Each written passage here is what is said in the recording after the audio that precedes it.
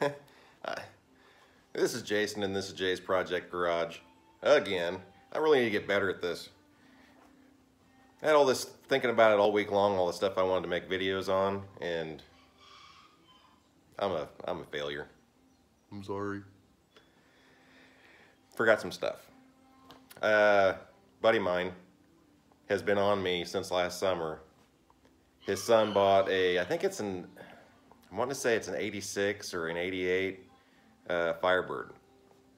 One owner, 86,000 miles, nice car. Um, gets in a fender bender in a parking lot. Uh, they wound up taking it to another body shop that was close to where they live. And they do a pretty crappy job. And he's on me, wanting me to fix what this other shop did. Well, that's about to happen, finally. But he keeps talking, and his son keeps talking about, I want to LS swap it, I want to LS, up, uh, LS swap it. Right now, it's got a 305 tune port in it. It's an automatic. I want to LS swap it. Why? Are you going to turbo it? No. Well, there's no such thing as, as a budget LS swap. Just not. I mean, if you start figuring in the wiring harness and the computer and the, the transmission that's in the car now is not going to live, it's probably a 700 R4 or something. All the exhaust has to be changed. F-body suck to put exhaust on. Uh, it's just a shit design. I mean, if you guys know anything about it, you can you can only run exhaust down one side because of the way the floor pan's shaped. I mean, that's you, you start the oil pan, the all the stuff that you're going to need to do the swap, and it's like 2,500 or three grand worth of stuff just to put the engine in the car to not really make any more power than what he's already got. I mean, yes, it will be more, but not enough more to justify the cost. I think he said he's got a, a budget of around 10 grand. I can actually build him something that's fairly quick for 10 grand.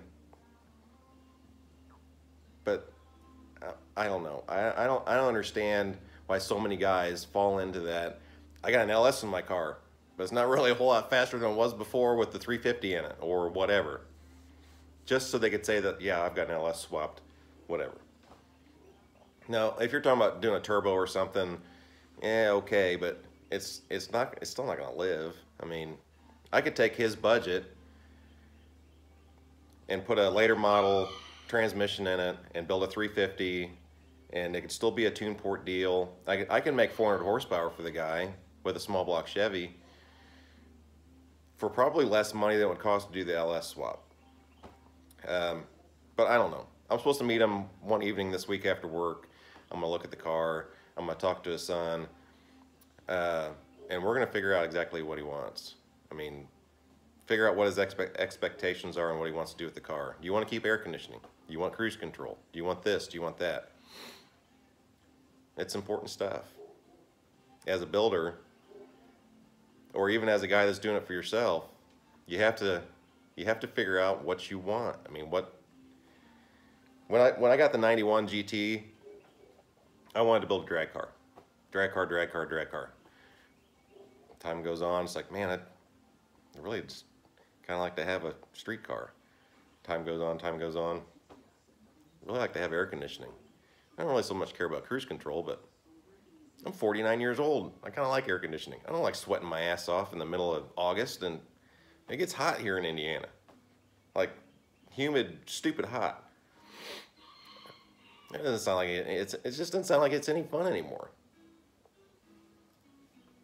I don't know. I got enough cars where I can do something of everything if I want. I mean, I don't know. Keep it in mind. LS swap, LS swap, LS swap isn't always the answer.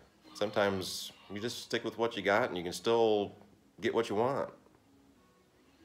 You guys have a great day and I'll see you next week.